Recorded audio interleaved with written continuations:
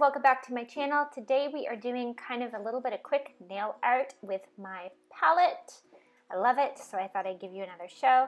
So my base color for this one is the same as my base color for the last quick nail art, and it is number 25 from Ugly Duckling, topped with matte top coat. I'm using my daughter tool, my Ugly Duckling Detailer 2, my Light Elegance Stripey, and my Young Nails Micro Detailer. So, I've already got the number 25 down. I have the matte top coat on it, and I'm just gonna come in and kind of start making the body of this little gnome. So I am using the Mosaic One Stroke Art Gel in 443, which is violet. I decided I wanted to do mine in that kind of darker color. I got this inspo from Kaylee C Nails. I hope I have said that right on Instagram. So you should go follow her. I will try to remember to add her name like in writing down in the description box so that you can see it. So these were really cool. I kind of came across them and I was like, I really want to do some interesting nail art for you guys today. So I took the inspiration from hers. I tried to change it a little bit. It's kind of a hard design to change, to be honest with you, especially trying to do a Christmas gnome. But I think he's really super cool. So I've just made kind of your, your standard half moon situation here. I'm just kind of fixing it up a little bit. I decided that today's probably the day that, that this particular detailer needs to go to detailer heaven. Um, it wasn't acting very well today and it's just a matter of, it's an older brush, I have a new one aside, but I will be ordering it again and I will be using the new one that I already have ordered because I love that brush. Same with this micro one that I'm using right now. Gosh, this is one of the best nail art brushes. So if you're looking to get a couple nail art brushes, these two would be great, great brushes to add to your collection. So I'm starting to make this little guy's hat and I'm using Young Nails Power Up, the Mission Control Power Up. It's what's in my palette. And I'm just kind of making his little hat, just forming it. This little guy was so much fun. I was so happy I found him.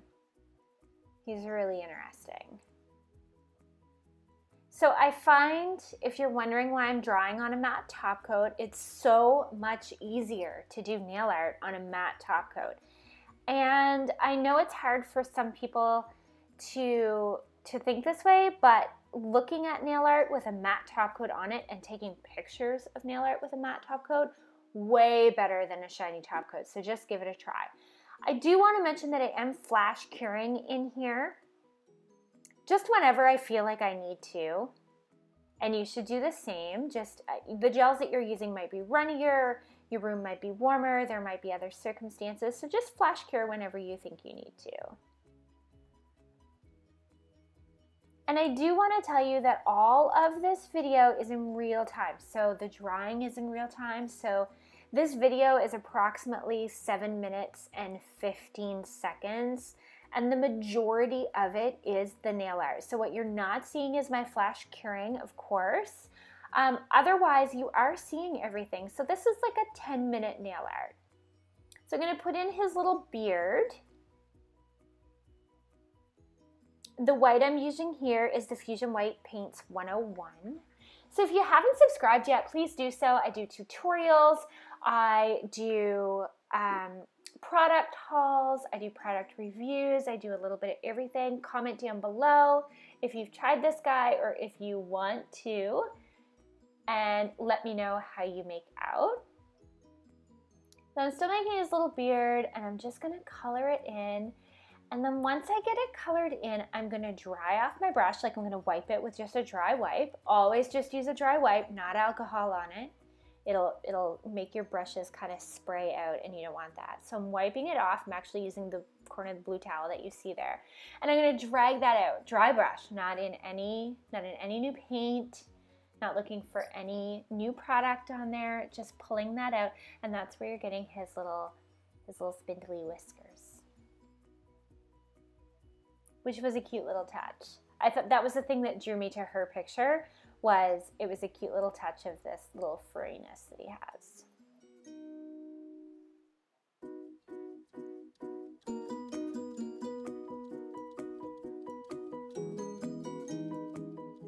So I'm coming back in with my dotting tool and I'm doing the little dots on his hat. I feel like gnomes always have a red, a red hat with white dots. I'm not sure, maybe they don't, but in my world, I feel like they always have. So I'm kind of pulling color out of the big dot using it for the little dots. It was kind of pooling over uh, and that just worked out well. Making them different colors. I thought his dots were pretty cute. I keep adding more and keep adding more. I was hoping I wasn't going to add too many. You know, there's always that one dot too many. So I am using Ugly Duckling number 67 to put his little nose in there. And then put a little tiny highlight on it. And in the light he goes, and then he gets a matte top coat and he is done. So if you have anybody, even with maybe a bit of a shorter nail, I know I'm doing that on a long, long nail, but if you have anybody with a short square nail, shorter square nail, you could still kind of play with this design a little bit and have that. I love this palette, you guys. It's my Mosaic palette.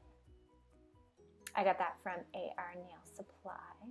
So again, if you haven't subscribed yet, please do so. It means a lot to my little channel. Give this video a like and maybe even give it a share. I'll see you next time, guys.